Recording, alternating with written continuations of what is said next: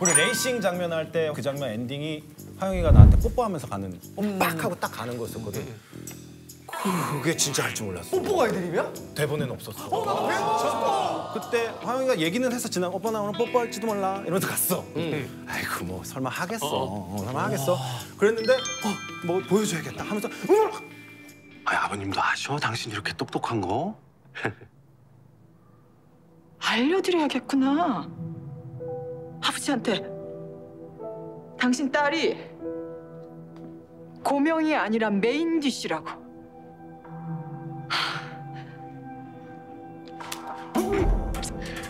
그럼 보통 여기서 커트를 할 줄 아는데 감독님 컷을 안 해. 또 역시나. 그래서 내가 아이고 참 이게 아이고 참 이러면서 빠졌거든. 이거를 커트를 안 해주면 이걸 어떻게 하라는 거야. 아이고. 아이고 참. 아이고 참. 아 근데 나는 그 유난히 이 작품에서 연기라기보다는 약간 찐반응이었었던 게 많았던 것 같아. 그게 나는 이성민 선배님을 예전부터 되게 이렇게 리스펙하는 대선배님이거든. 롤모델처럼 이렇게 항상 연기에 대해서 이렇게 어 저기 존경하는 선배님인데 요번에 이제 이성민 선배님하고 처음 만나는 거였거든. 근데 6분간 이제 내가 정치하겠다고 하는 장면에서 처음으로 이제 회장님하고 둘이 일대일로 만나서 이제 대립하는 장면이었단 말이지. 근데 그게 창재는 이 말을 꼭 해야 되는 상황이잖아. 근데 너무너무 무섭잖아, 진양철 그렇지 회장님이. 진양철 정치 어. 절대 안 하게. 그렇잖아. 근데 뒤에 도준이라는 후광이 있었던 거야. 맞아 맞아. 이 세팅이 실제 나랑 너무 똑같은 거야.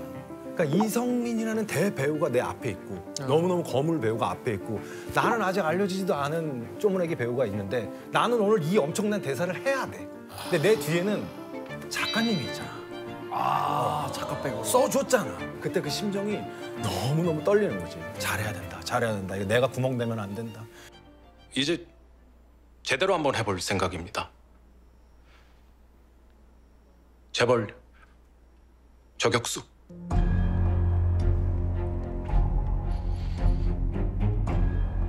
여론이 아버님 편을 들어줄 거라고 생각하십니까? 근데 떨리니까 대사도 떨리고 눈을 못 쳐다보니까 자꾸 딴 데 보게 되고 이렇게 되더라고. 그래서 어떻게 보면 저게 나도 모니터 하면서 저땐 진짜 떨렸어. 진짜 떨렸어. 이제. 그럴 수 있겠다. 도현이는 실제 성격은 어때? 국중하고 좀 비슷해 아니면? 나는 사실 다르다고 생각하는데 방송 나가고 나서 와이프가 이제 오빠 역할 맡았네. 그러니까 너무 지금이랑 난 똑같은데? 똑같은 똑같. 어, 방송 그, 그런가 봐. 그럼. 제일 제일 다른 게 진성준이고. 아 그럼 나는 원래 이렇게 나쁜 사람이 안 돼. 어려 어려워해. 원래 성격하고 너무 달라가지고 반대로 그 이성민 선배님이 사위한테 좀 그렇게 무서웠지만 실제로 남이한테 장손이라 진짜 잘해줬잖아. 할아버지, 저 성준입니다.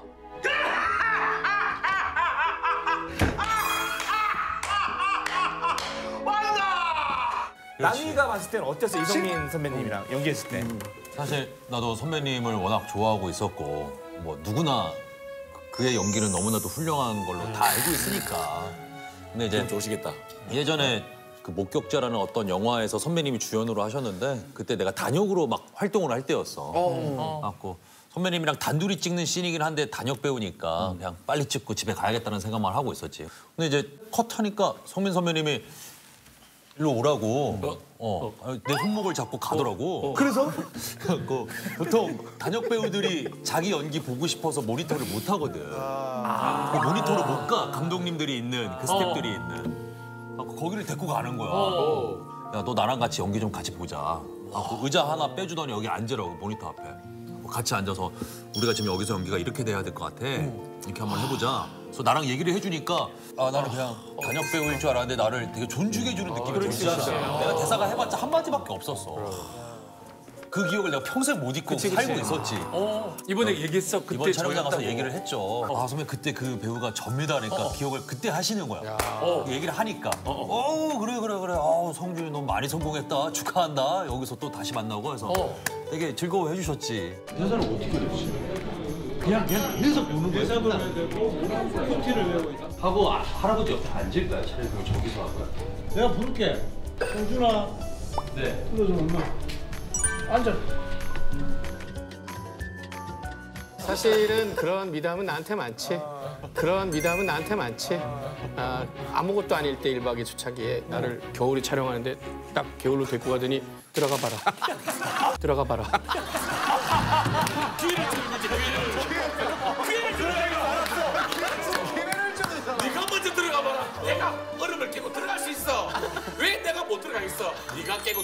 봐라. 그럼 지연이한테는 시할아버지 어떤 사람이야? 실제로. 음, 현장에서 굉장히 젠틀하시고 그리고 연기를 너무 잘하시는 걸 이미 알고 있었어서 되게 기대를 했는데 항상 기대 이상을 보여주시는 선배님이셨었고 하셨던 말씀 중에 좀 기억에 남는 거는 이제 감독님께 이성민 선배님께서 현민이 캐스팅 잘했네 이렇게 얘기하시는 거예요. 잠시만요, 잠시만요. 지금 세 사람은 거짓말을 하고 있습니다. 잠시만요, 잠시만요. 지금 세 사람은 거짓말을 하고 있습니다. 존경한다, 뭐 온갖 찬양은 다 해놓고서 막상 이성민 배우가 드라마 속에서 죽자마자 축제 마냥 암소 파티를 했다고 하는데 축제 마냥 암소 파티를 했다고 하는데 사실입니까? 네. 실제로 사실이에요. 축제 이거 사람이 드라마에서 돌아가시면 선배님 이제 갔다. 선배님 이제 금방 나오신다. 그냥 회식 자리 회식이에요. 암소 파티를 했어. 암소 파티. 진짜?